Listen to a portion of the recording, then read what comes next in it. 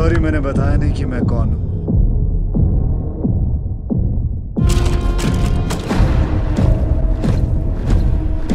Defence intelligence agency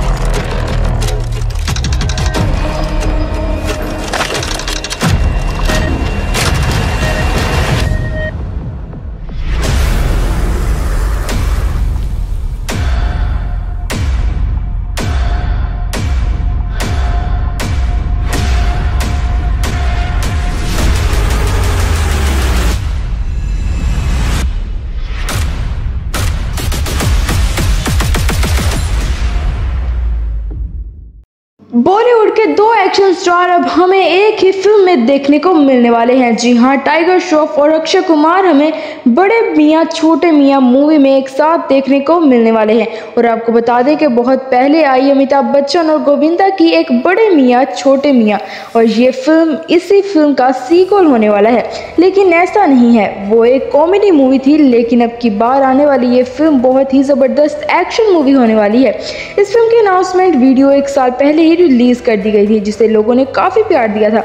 इस film की cast और रिलीज़ डेट की भी अनाउंसमेंट कर दी गई है। इस फ़िल्म के लिए अक्षय कुमार काफ़ी मेहनत कर रहे हैं, क्योंकि पिछली आने वाली अक्षय कुमार की फ़िल्में काफ़ी फ्लॉप रही हैं। इसलिए अक्षय कुमार एक बार फिर से कम करना चाहते हैं।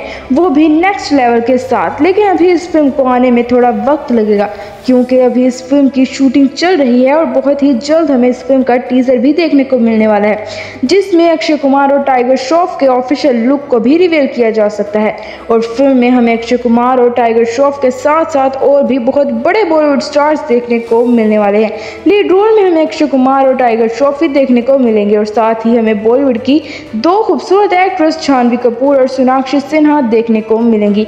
और इन सब के साथ साथ ज़बरदस्त एक्टर पृथ्वीराज सुकुमारन भी देखने को मिलेंगे। वहीं बात करें फ़िल्म के डायरेक्टर की तो इस फ़िल्म को बॉलीवुड के जाने माने डायरेक्टर अली अब्बास ज़फ़र की डायरेक्शन में बनाया जा रहा है।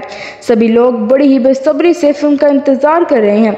अभी तो इस फ़िल्म की शूटिंग जारी है, जिसे बहुत जल्द खत्म कर लिया जाएगा। इसके बाद साल 2023-25 दिसंबर को फ़िल्म हमें सिनेमा हॉल्स में देखने को मिल जाएगी। और इसी महीने में हमें एक बड़ी मूवी डंकी भी देखने को मिलने वाली है, और इसलिए हो सकता है कि इन दोनों फ़िल्मों का हमें क्रैश देखने को मिले। लेकिन मेकर्स ये नहीं चाहते कि दोनों बड़ी फ़िल्में आपस में क्रैश हों। इसलिए हो सकता है कि डंकी मूवी को एक या दो हफ़्ते पहले रिलीज़ कर दिया जाए और बाद में बड़े मियाँ और छोटे मियाँ को रिलीज़ किया जाए। फिर अब ये तो आने वाला वक्त ही बताएगा। अक्षय कुमार की इस फ़िल्म को पैन इंडिया रिलीज़ किया जाएगा। और इस मूवी का बजट भी काफ़ी बड़ा है। जी हाँ इस मूवी का बजट 120 करोड़ है।